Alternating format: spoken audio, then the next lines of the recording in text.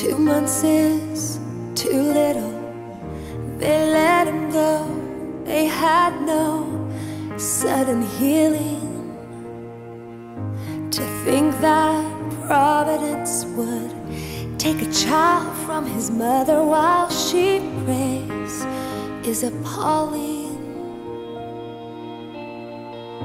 Who told us we'd be rescued? What has changed and why should we be saved from nightmares?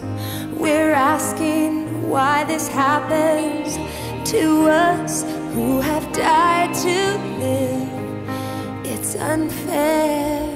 This is what it means to be held, how it feels when the sacred is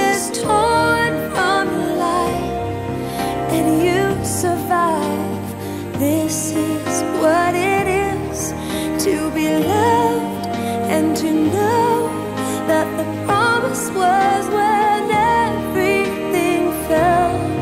We'd be held. This hand is bitterness. We want to taste it.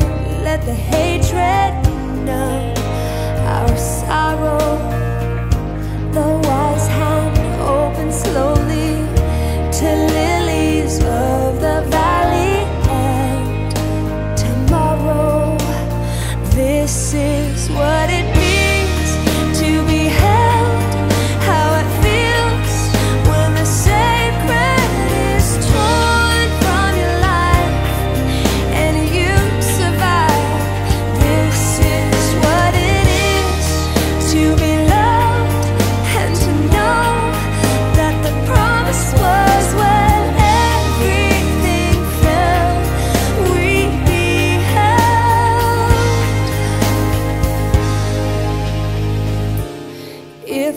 Hope